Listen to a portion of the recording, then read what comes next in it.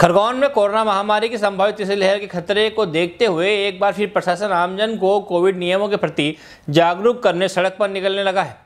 शुक्रवार को कोतवाली परिसर में एसपी सिद्धार्थ चौधरी के नेतृत्व में मास्क जागरूकता रैली निकाली गई। इस अवसर पर collector Anugrah P SDM Milind Dhoke नगर पालिका अधिकारी प्रियंका पटेल सहित बड़ी संख्या में अधिकारी, कर्मचारी मौजूद रहे। रैली में राहगीरों सहित दुकानदारों को मास्क वितरण किए गए। एसपी ने पैदल मार्च करते हुए आमजनों को मास्क वितरण कर मास्क लगाकर घर से बाहर निकलने के लिए समझाइश दी। साथ ही दुकानदारों को निर्देशित किया गया कि खुद भी मास्क लगाएँ और मास्क लगाकर आने वाले ग्राहकों को ही सामान दें। इसकी अवहेलना करने वालों पर कार्यवाही की जाएगी। कोरोना वैक्सीन लगाने के लिए भी जागरूक किया गया। एसपी ने कहा कि फ़िलहाल समझाइश दी जा रही है, यदि लोग नियमों का पालन नहीं करते हैं तो चालानी कार्यवाही भी की जाएगी। कलेक्टर अनुग्रह पी ने आमजन को मास्क पहनने की हिदायत दी है। खरगोन से जयंत गुप्ता की रिपोर्ट।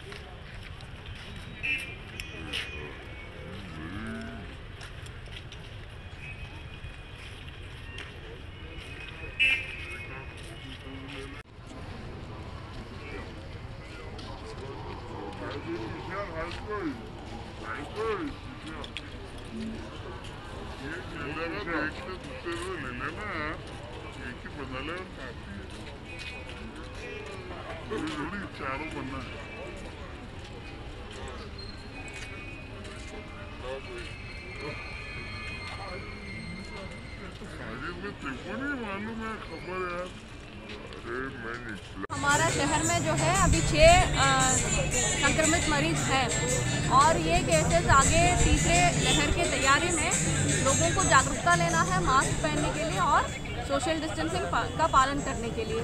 अभी अधिकतम देखने में आ रहा है लोग मास्क पहनना कम किए हैं। इसीलिए आज जो है हम नगर पालिका के द्वारा कुछ निःशुल्क मास्क वितरण भी किए हैं और आगे जाके चलानी का कार्रवाई भी करने वाले हैं। इसी के लिए एक रैली हमने निकाल के संदेश जो है लोगों के बीच में देखा गया है मैडम कि लोग पालन नहीं कर पाते हैं। अभी का, करना चालू करेंगे जैसे अभी केसेस आना चालू हो गया है तो अभी अभी से चालू करें फिर भी पर्याप्त है।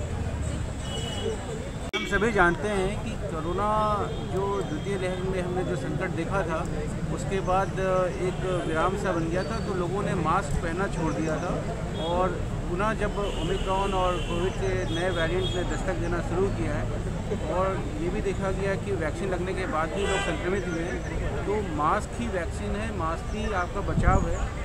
इसके लिए हमने यहाँ जागरूकता हेतु जो एक रैली का आयोजन किया, क्योंकि लोगों ने मास्क पहना, जो छोड़ने, छोड़ दिया है। पहले हमने एक जागरूकता लाने के बाद दंडात्मक कार्रवाई भी हमारे द्वारा किया जाएगा, ताकि लोग जो है मास्क पहनने के लिए प्रेरित हों।